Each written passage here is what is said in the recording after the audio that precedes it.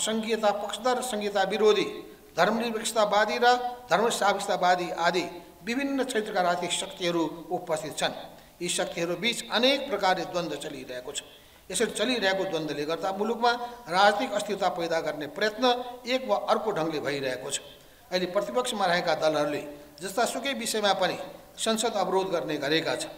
सत्ताच्युत भएर प्रमुख प्रतिपक्षमा पुगेको एमाले अत्यन्त गैर जिम्मेवार ढङ्गले नकारात्मक भूमिका निर्वाह गरिरहेको छ। विभिन्न ढङ्गले सरकार सञ्चालनमा रहेको वर्तमान गठबन्धन तोड्न उद्धत छ। पुनरुत्थानवादी प्रतिगामी तपस्यगामी शक्तिहरूको क्रियाकलापले र प्रतिपक्षका गतिहरूबाट गतिविधिहरूबाट मुलुकलाई अस्थिरतातर्फ धकेल्न खोजेको आभास पाइन्छ।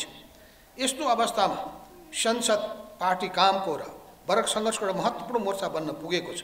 वर्तमान अवस्थामा सङ्घीय संसदका दुवै सदन र सबै प्रदेश सभाहरूमा हाम्रो पार्टीको प्रतिनिधिहरूले संसदीय मोर्चालाई रचनात्मक ढङ्गले कुशलतापूर्वक राष्ट्र जनताको हितमा आम जनतासँग एकाकार भई राम्रोसँग उपयोग गर्न र वर्ग सङ्घर्षलाई सञ्चालन गर्न सक्नुपर्दछ पार्टीको आम नीति र निर्वाचन घोषणापत्र अनुसार राष्ट्रियता लोकतन्त्र सुशासन सामाजिक न्याय मानवाधिकार र जनसरकारका विषयहरूलाई सशक्त ढङ्गले अघि बढाउन निरन्तर लागिरहनु पर्दछ। हाम्रो पार्टीले अझै हाम्रो पार्टीको राजनीतिक दिशाअनुसार उठाएका सामाजिक आर्थिक रूपान्तरको मुद्दालाई विस्तृत रूपमा व्याख्या गर्दै नेपाली राजनीतिको दिशाबोध गर्ने र वाम आन्दोलनको नेतृत्व गर्ने नेताको रूपमा पार्टीलाई स्थापित गर्न विशेष ध्यान दिनुपर्दछ। स्थानवादी यथास्थितिवादी पश्चगामी र प्रतिगामीहरूको सामाजिक सभालाई खडबल्याउने र मुलुकलाई प्रतिगमन र पश्चिम दिशामा धकेल्ने षड्यन्त्र क्रियाकलापहरू त भ्रष्टाचार कमिसनखोरी अमित अनियमितता र तस्करीको विरोध र भण्डाफोड गर्ने मुलुकको सामाजिक आर्थिक विकास सामाजिक सुरक्षा सुशासन सामाजिक न्यायको पक्षमा समाजवादी कार्यदिशा अवलम्बन गर्दै नेपाली विशेषताको समाजवाद निर्माण गर्ने मान्यताका साथ समाजवादी मोर्चा निर्माण गर्ने विषय रणनीतिक महत्त्वको संयुक्त मोर्चा निर्माणको विषय रहेको छ। यस मोर्चालाई ठिक ढङ्गले परिचालन गर्न सकियो भने समाजवादी कार्यदिशा अवलम्बन गर्ने र नेपाली विशेषताको समाजवाद निर्माण गर्ने कार्यमा मोर्चाका घटक दलहरूको बिचमा सहकार्य गर्ने आधार अझै बढ्दै जानेछ। राष्ट्रिय सभाका उन्नाइस पदमा भएको निर्वाचनमा सत्तारूढ दलको गठबन्धनले आपसी समझदारीमा भागभन्डा गरेका थिए।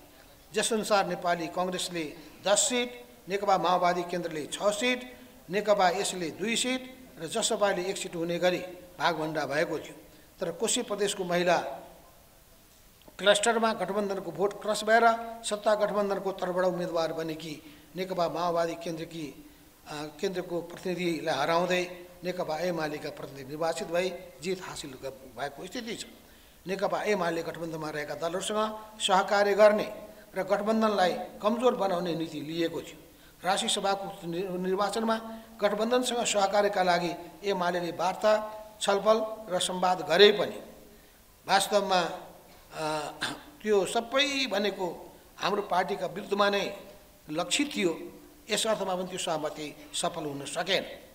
यो सत्ता गठबन्धनका दलहरू एकजुट भएर एक ठाउँमा उभिसकेपछि नेकपा एमालेको उक्त प्रयत्न हामीलाई कमजोर बनाउने प्रयत्न असफल भयो। यस्तो अवस्थामा नेकपा एमाले राप्रपासँग गठबन्धन गर्न पुग्यो। यस परिणामले कोशी प्रदेशमा एक सिट जितेर यो निर्वाचन नेकपा एमाले शून्य वडा जोगिन पुगेको छ।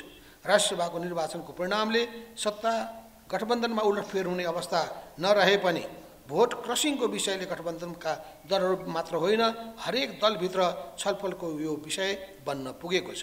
विरोधी जनविरोधी लोकतन्त्र विरोधी क्रियाकलापहरू तथा भ्रष्टाचार तस्करी अनियमितता सामाजिक भेदभाव जाति विभेद छुवाछुत अन्धविश्वास र कुरीतिहरू महिला हिंसाका विरुद्ध जुन जेन जनचेतना फैलाउने काममा पार्टीले अगुवाई गर्ने र सामाजिक चेतना अभिवृद्धि गर्न विभिन्न ढङ्गले लाग्ने तथा जलवायु परिवर्तन वातावरणीय प्रदूषण सामाजिक न्याय र मानव अधिकार सम्बन्धी मुद्दाहरूमा जनताको चेतना अभिवृद्धि गर्ने अभियान सञ्चालन गर्ने र प्राकृतिक प्रकोप तथा विपद जोखिम न्यूनीकरणमा जोड दिँदै विपदमा परेका जनतालाई राहत सहयोग गर्ने अभिभारा सञ्चालन गर्ने आदि विषयहरू सामाजिक आन्दोलन सम्बन्धी अर्को महत्त्वपूर्ण कार्यभार रहेको छ।